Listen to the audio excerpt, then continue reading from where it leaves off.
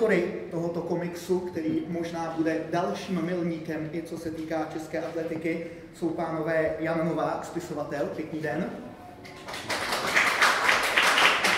A Jaromír Švejdík, jinak také Jaromír 99. Pěkný den.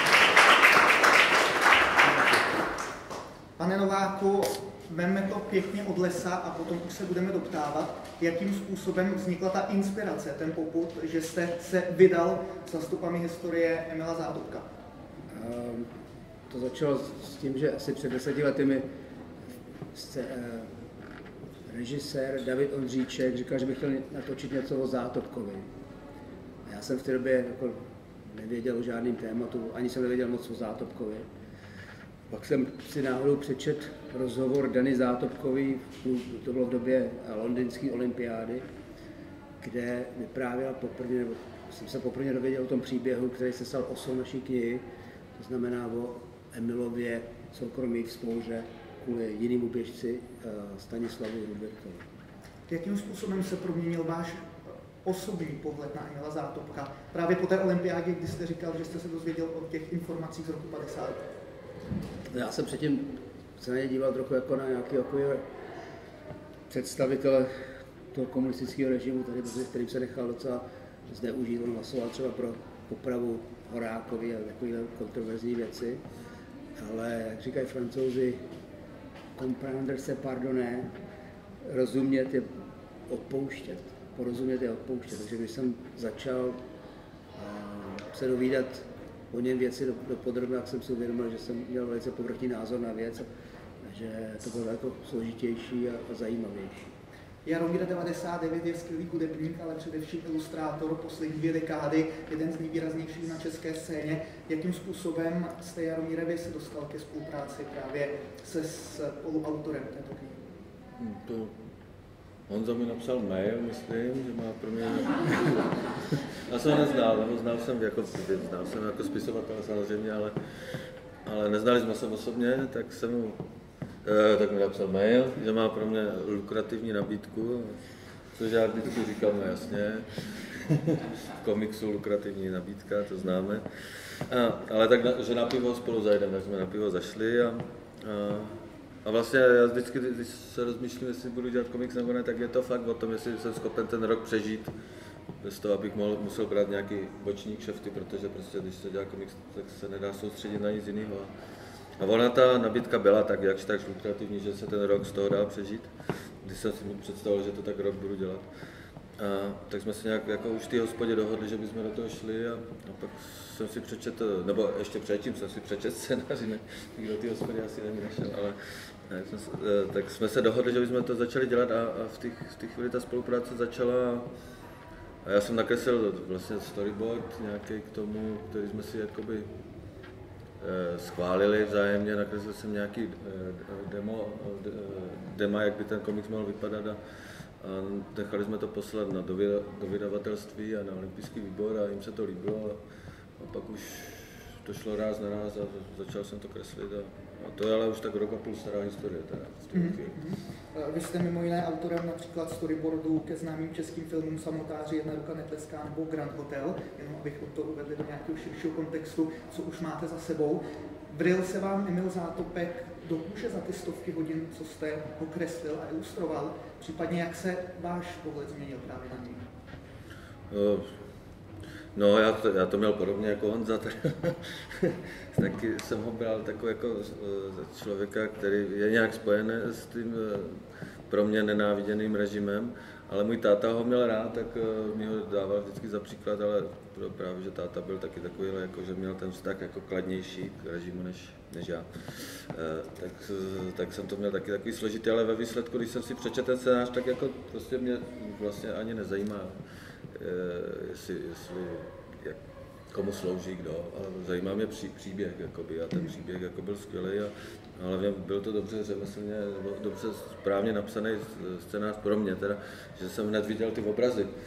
Hned jsem se mi začali promítat před očima a vlastně se, tyhle věci, když je to dobře napsané, se pak snadno, snadno vymýšlí. Jo? Že je horší, když ten scénář je jako kostrbatý a, a ten autor nechává na tom kreslířovi, aby, aby ho dovypravoval.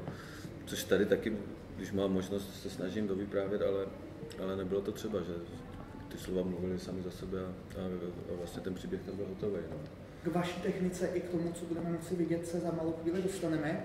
Ondřej Bezr z Mladé fronty napsal před rokem Komiks vypovídá na konkrétních příkladech o zvrhlých poměrech, které v této zemi v 50. letech panovaly a o síle pár jednotlivců, kteří jim dokázali vzdorovat. Souhlasíte, pane Nováku, bylo tohle tím cílem?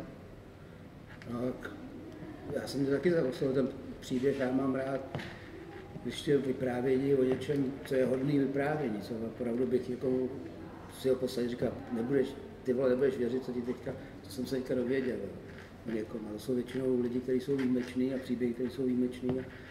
A ty často vznikají v dobách nějakých extrémního útlaku nebo nějakých takových krajních situ- mezních situacích. Takže 50. let na to byly bohatý válka, na to byla bohatá. Dneska už jako, tady jsou taky příběhy, ale spíš o tunelování a nejde úplně o kejha.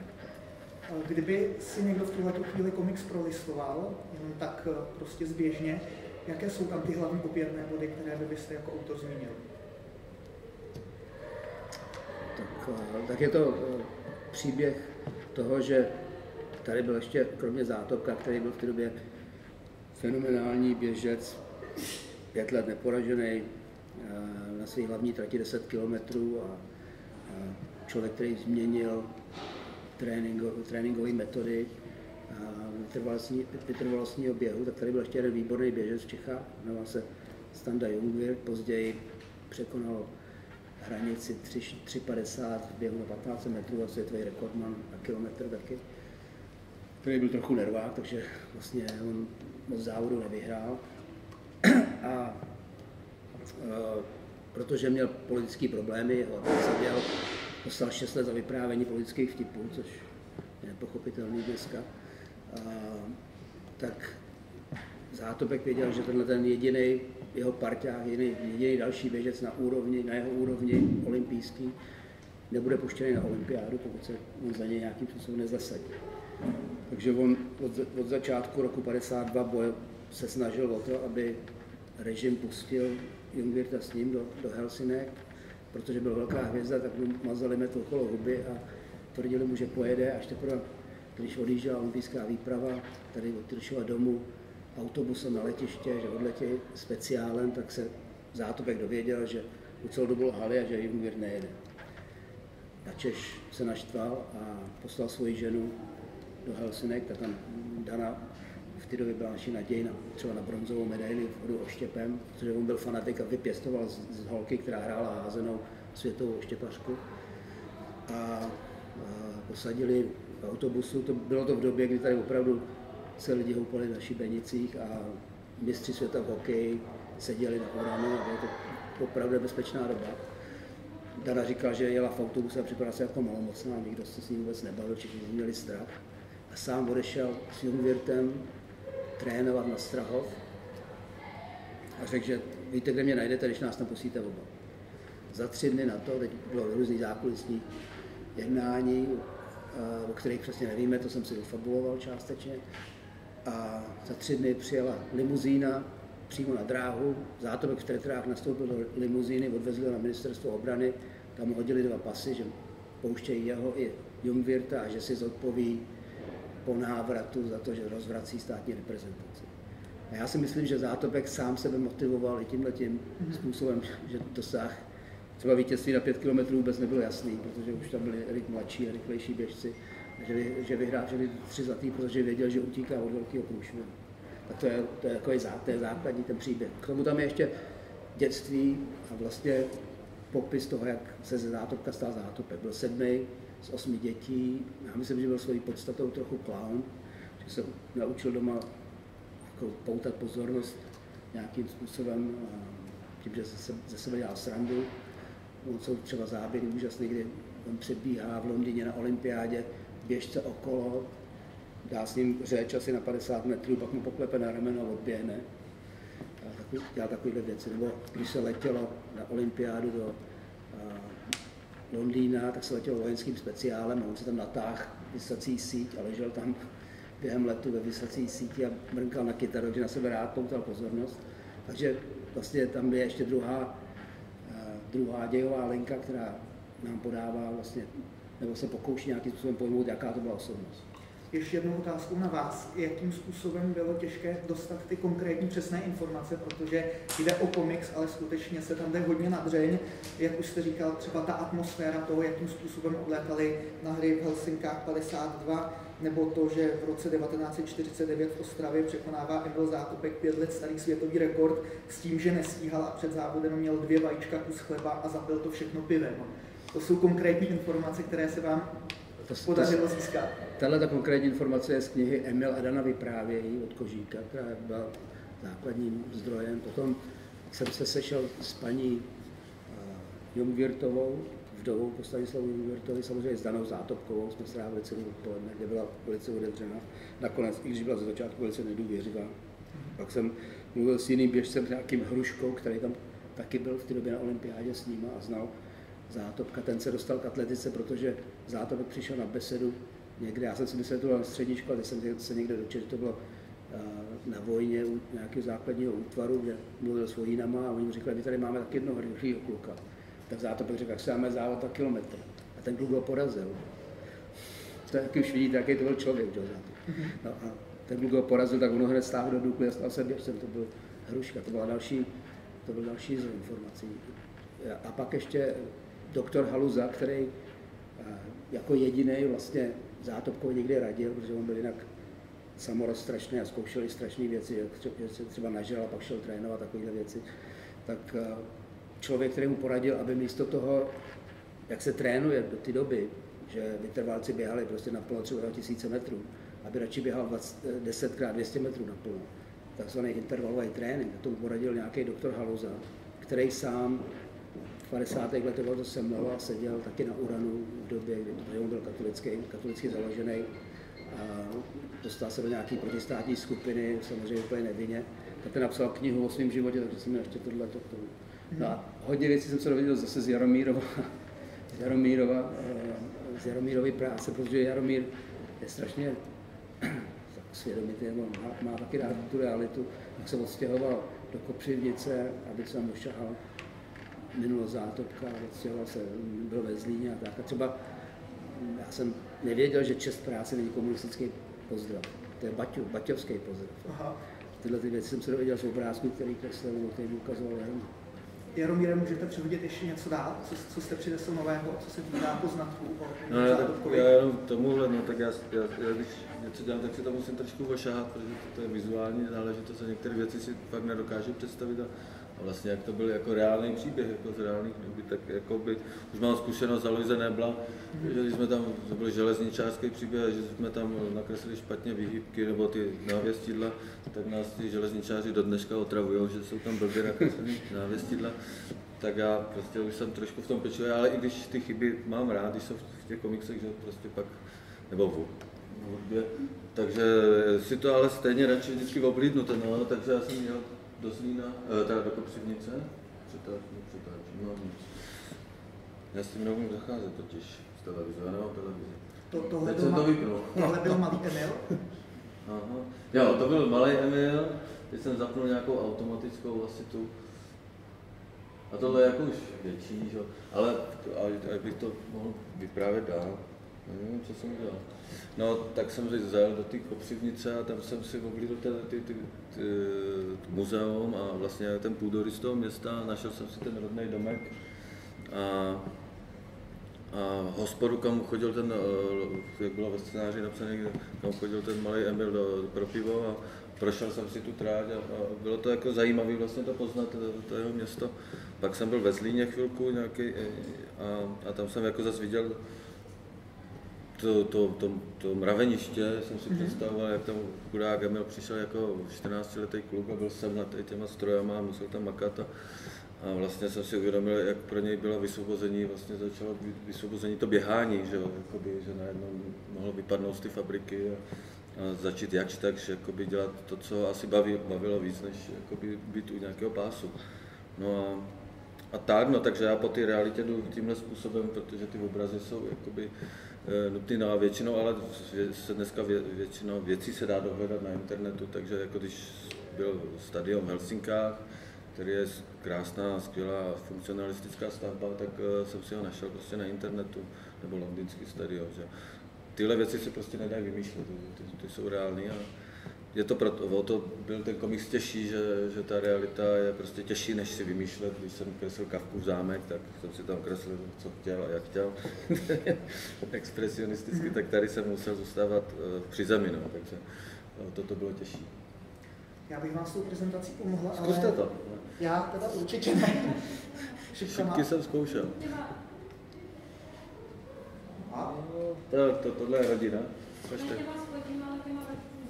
Počkej. Tímhle, takhle doprava doleva. To je ten rodný dům teda, jo. Ten, to je dvojdomek. A vlastně v půl, první půlce bydlela, bydlela ta velká rodina, že jo. Tak to se tam šel si vyfotit a ten tam je do dneška takhle opravili. A tady vlastně no to, tohle mi tam ukazovali jako zajímavost, že tohle je Emil. To já myslím. A zajímavé je, že si schovává eh, nohy, protože nemá boty, jako jediný z těch Je takové jako, no to mi tam říkali, že oni byli tak chudí, boty, že si půjčovali bráchové boty.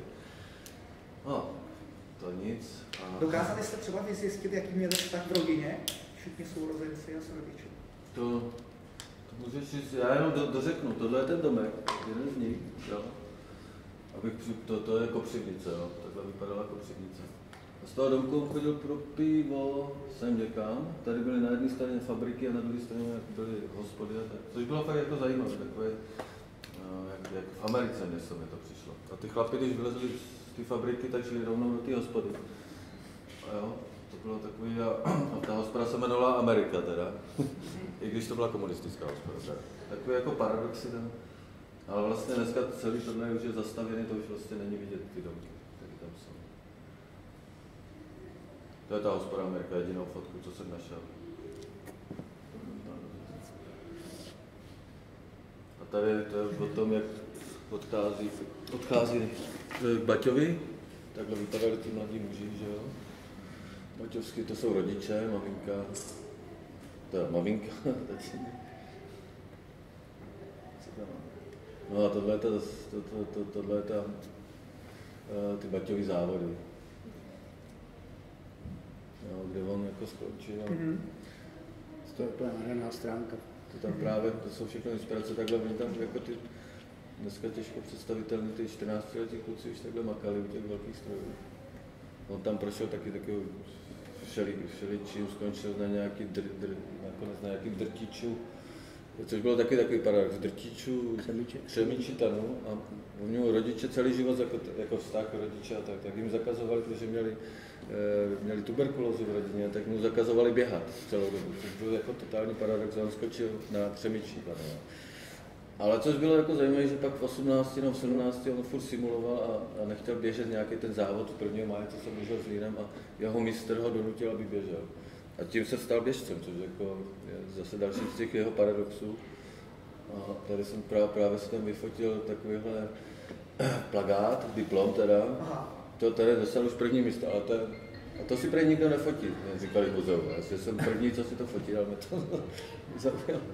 Ale to, to už je druhý ročet, to už běžel po druhé a už byl druhý, protože první běžel a měl cvičky a to skončil druhý až. No, ale tím se stal vlastně běžcem tímhle způsobem. Jako vlastně náhodou, a což mi vlastně taky jaký příběh. Vlastně, že ta náhoda hraje velkou roli. Vlastně dost pozdě už mu bylo 18 let, že to to bylo v tom roce 41. Pane Nováku, tam byl druhý v tom prvním běhu z Lína, 41, a tam se právě doktor Haluza ujal, ten muž, který byl potom zatčen na 6 let tvrdého žaláře.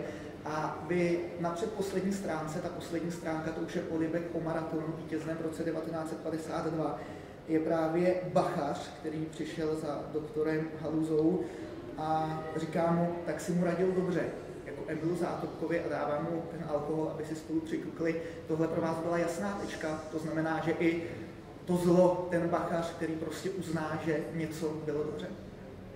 No jasně, z toho skoro až tam, mrazí. tam jsou pořád mezilidský vztahy i na tyhle ty úrovni. A, uh, já to vím třeba od Jana Suchýho, což je byl geniální hokejista v 60. letech a později v opilosti zavinil bouračku a seděl ještě v době, kdy byl vynikající, seděl ve vězení a vyprávěl mi o tom, že to bylo strašně lidský čas, protože eh, tam seděl nějaký kuchař z internacionálu za nějaký manko a fantasticky vařil, takže se, že je nejlíp v životě v tom vězení a tak prostě celebrita má strašný, strašnou moc, už měla i tehdy a má dál. A tyhle paradoxy mě baví.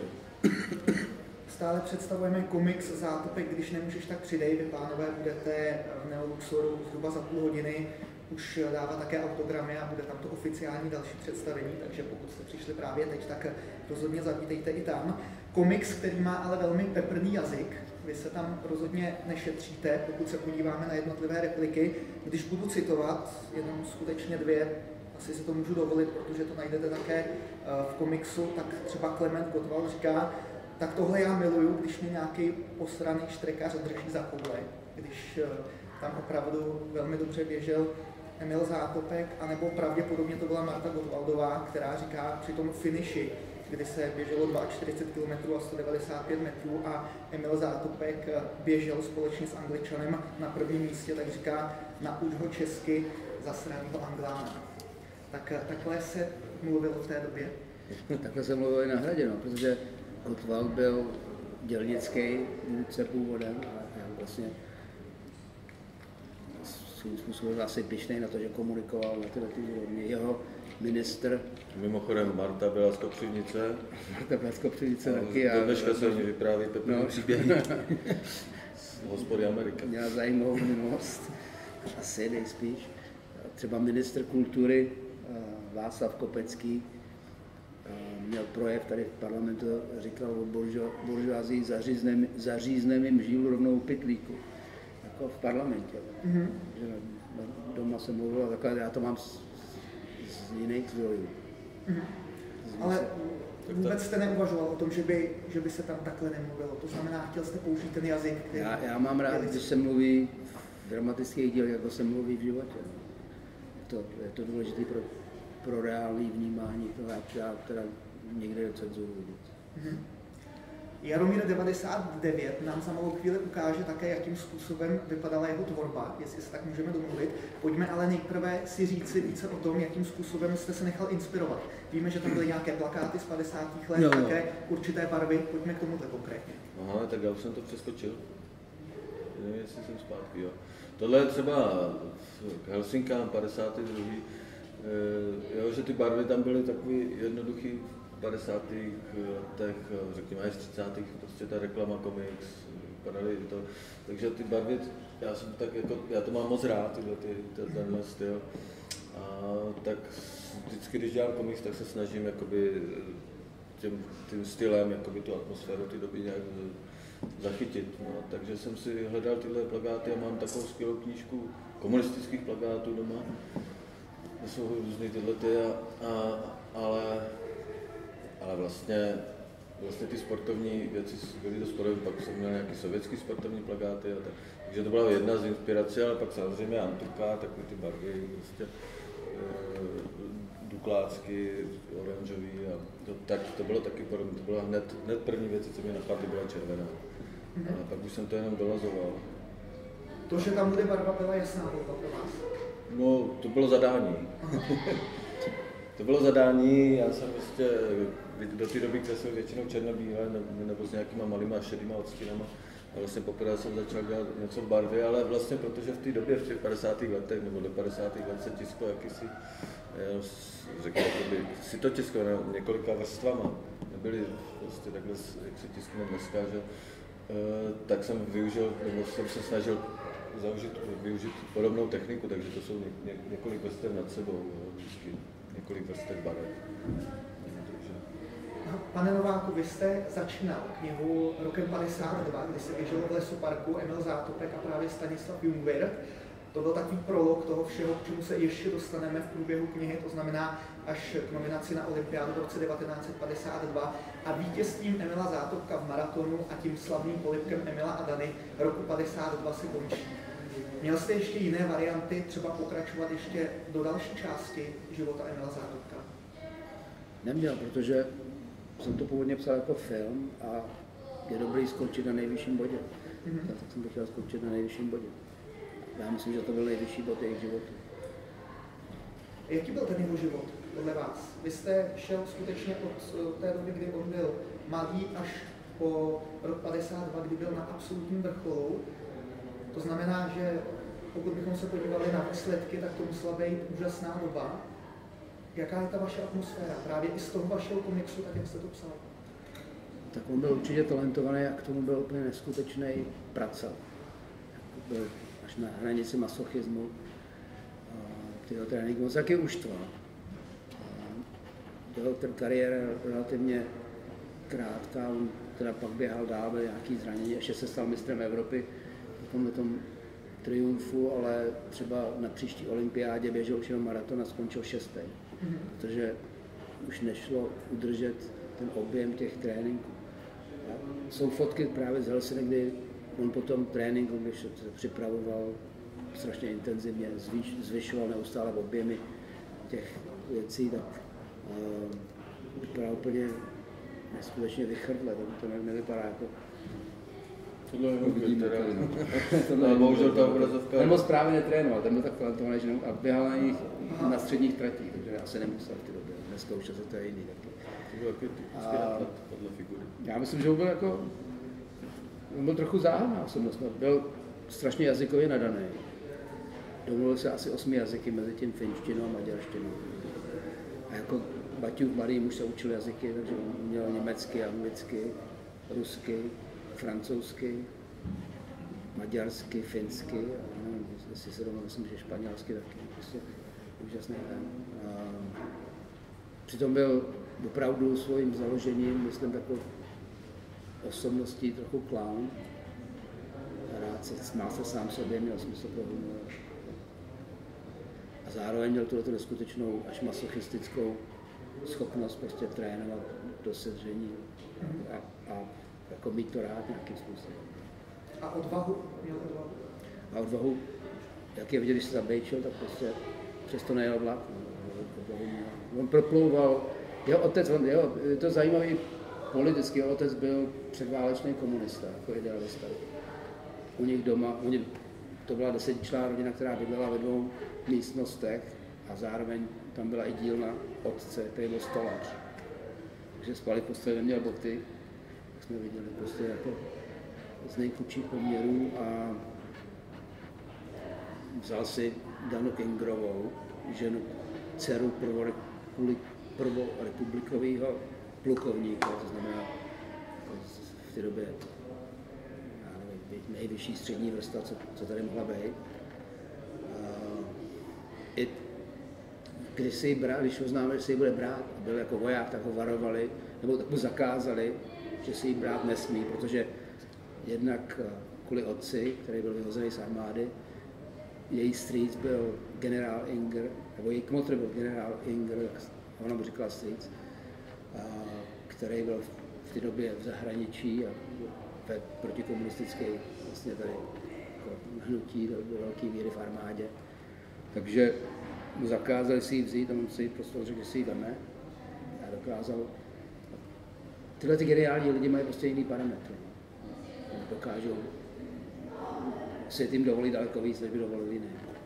A i o vztahu právě rodiny, třeba Dany Zákupkové, vy jste psal společně s Jaromírem, to znamená, že i tohleto téma je tam obsaženo, stejně jako jejich seznámení, oni se narodili ve stejný den a ve stejný rok 19. září roku 1922 poznali se na závodech v roce 48, kdy i když jste mluvil s paní Zátopkovou, dokážete odhadnout, co měli společného, co je tak drželo u sebe.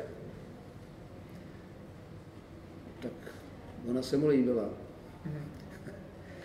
A on byl asi natolik zajímavý, že, že a vím, vím, se už byl v té době slavný, měl přístup k tomu. a Já nevím přesně, no, prostě se jeden druhý líbili, ale on opravdu z ní udělal světovou v relativně pozdním věku světovou olympijskou vítězku a světovou rekordmanku. Tomu jsem se chtěl dostat, protože eh, součástí komiksu je i příprava Emila, právě jak eh, pušuje přípravu směrem k daně, takže takhle to opravdu bylo. On byl fanatický atlet, eh, teda atletický fanatik. Chtěl, pro, i proto se vlastně zastal takhle toho Jungwirta, prostě jeho modus operandi byla cechovní čest, taková jako mm-hmm.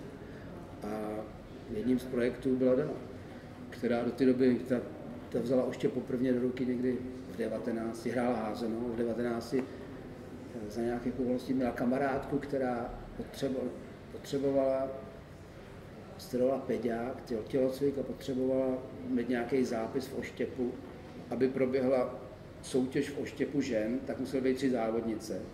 Takže ona ukecala Danu, jestli by nešla s ní jázet oštěpem. A Dana hodila asi 36 metrů, nebo jako v té době na, na Čechy úplně skoro rekord. Jako začala házet oštěpem, přitom, že hrála házenou, vybavila házena, protože kolektivní sport. No a teprve, když vzal do ruky zátopek, tak se, jako dostala se na olympiádu. To ještě, to, to jen tak radil z začátku a pak v Londýně tam byla sedmá a uvědomila se, že tam nechce jezdit už jako jenom, aby se dostala na olympiádu a nic neznamenalo. Takže se rozhodla, skončila zázenou a rozhodla se, že bude poslouchat svého manžela, ten se stal takovým trenérem, co se týče, ne, ne techniky, ale prostě co se týče kondice a, tak, a ten ji vytáhl do těchto těch výš. Když udělám jenom lehkou odbočku, tak eh, Emil Zátopek byl Mezinárodní asociací atletických federací v březnu 2012 jmenovaný jedním ze 12 členů nově ustavené síně slávy světové atletiky, kde jsou třeba američané J.C. Owens nebo Carl Lewis, skutečně ty největší hvězdy od eh, počátku olympijských her. Znamená to, že po tom všem, co jste o Emilu Zátopkovi nastudoval a vepsal do vašeho komiksu, rozumíte i tomu nejen českému, ale evropskému a celosvětovému přesahu jeho jména. To naprosto patří, to je jeden z největších atletů a jeden z největších sportovců v historii sportu. Jaromíre, je možné se potom podívat i k obrazovce? Bude to jo, jo. možné pro vás? A v tom případě ještě poslední otázkou a už se vydáme tak, abychom se podívali, jak vypadá technika vašeho malování, respektive vaší ilustrace, protože za 15 minut už budete do Neoluxoru, kde budete křtít a rozdávat autogramy. Poslední věc, po přečtení vašeho komiksu, společného díla, co by si čtenář měl odnést. Je to 200 napichovaných stránek, skutečně mnoho témat. Co z vašeho pohledu, pane Nováku, by v nás mělo zůstat? Já takhle neberu, mě, mě to prostě zajímalo, tak mě zajímal ten příběh a já ať si každý z toho veme, co, co, co ho baví. No, doufám, že, že, že je tam i příběh lásky, nebo je, je to příběh muže proti systému, jako je westernový model skoro. A je to všechno reálný, doví se tam kus české historie, ale nevím, jaký měl společnost, aby to někomu doporučil. No, Těch pohledů může být skutečně mnoho. Co říká Jaromír 99? No, tak... I po svých zkušenostech z Kopřivnice? No. no já myslím, že vizuální, když se příběh převede do vizuálního stylu, tak jako by má ještě větší sílu svým způsobem se zaryvat do paměti a, a, a že je pochopitelný třeba i prostě dětem, a, i když jsou tam vulgární slova, ale myslím si, že v současné době to nejsou žádný vulgární slova až moc, tak, e, takže si myslím, že to může sloužit jakoby i, jak to říct, no, Eh, že, že, že, že, že, že jako takový malý znovu, znovu objevení, protože co není vizuálně dneska, tak jako by neexistovalo. A vlastně, jak je to takový pop artovým způsobem nakreslený, tak doufám, že zase ten zátopek začne žít tady mezi námi svým způsobem v Čechách, že tak už byl takový, podle mých dětí pozná, eh, takový polozapomenutý svým způsobem. Právě to. A svým jiný generace. Bohužel bude tak. Někdo z vás jakoukoliv otázku na spisovatele a ilustrátora? Pokud ne, tak jestli vás Jaromíre může Jo, já jenom to ukážu tady na obrazovce, to bylo jednodušší, protože no. si to půjde. No, půjde. Jo, tohle, to byly takový ty, jak jsem říkal, to byly první dema, které jsem kreslil prostě no, v nakladatelství olympijskému výboru. Ty, ty to schválili, takže to takovýmhle stylem jsem pokračoval, jenom jsem se chtěl dostat já se musím držet nějak. A už jsem, jo. Zajímavé je, že na, někteří nakladatelé chcou první titulku a potom až ostatní věci. Takže jako tady jsem kreslil první tak titulku a ona už zůstala teda, tak stejná. Jenom jiný písmo tam je. Ale já jsem chtěl říct, že vycházím vždycky z takovýchhle skic, který si jako skicuju do takového bloku. E, vlastně červeno, modře a většinou už, když to jednou nakreslím, tak už to moc neměním a tady jenom to chci dokázat na tady ty, na tyhle, tyhle skice. Ten blok vypadá takhle, to, tamhle má slečna, takovýhle blok, který má 200 stran teda, jak na schvál, a ten příběh má asi 205, takže to poslední jsem kreslil už na ty, kde už nejsou papíry, na ty rantly. Takhle to vypadalo. No. A... Nekupoval jste nový sešit? No, už jsem nechtěl.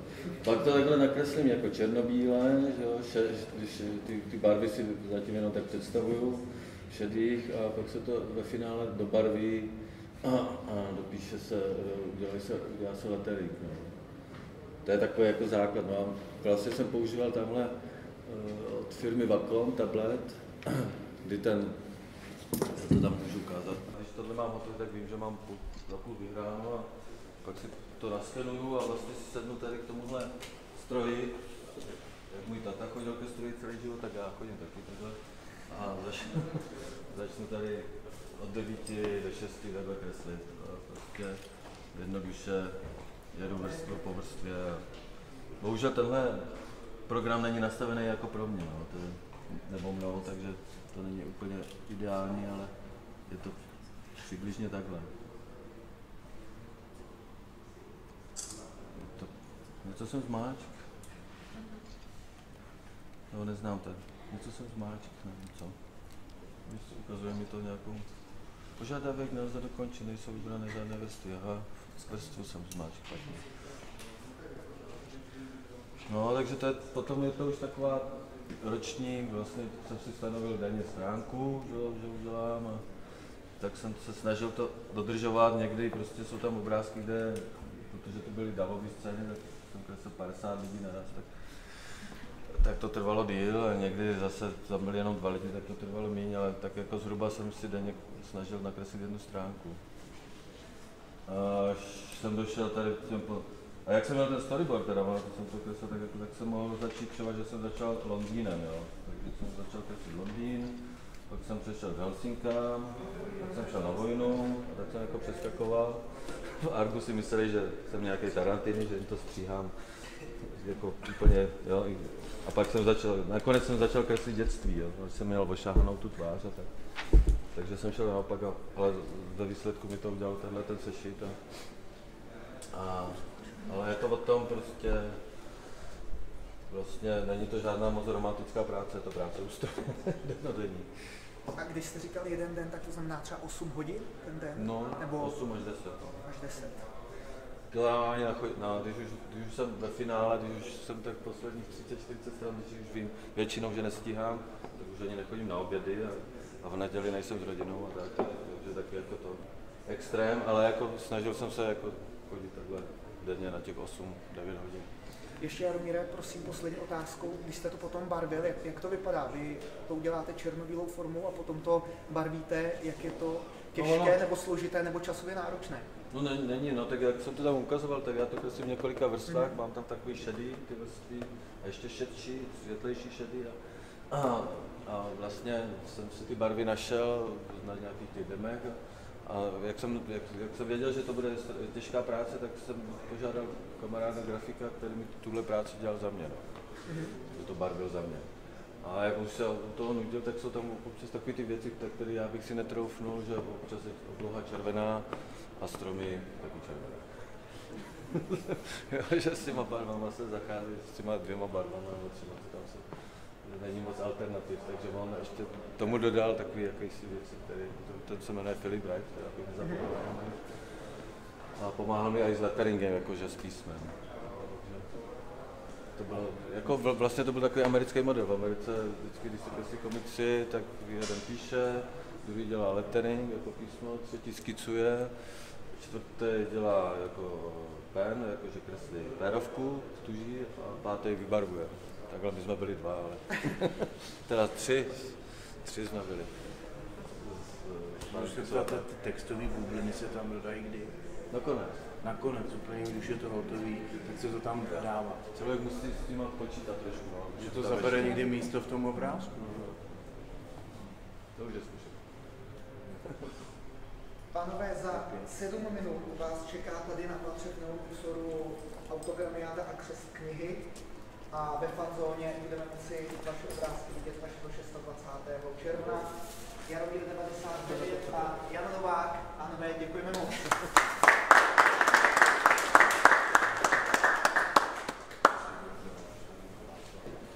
Já si to radši schovám.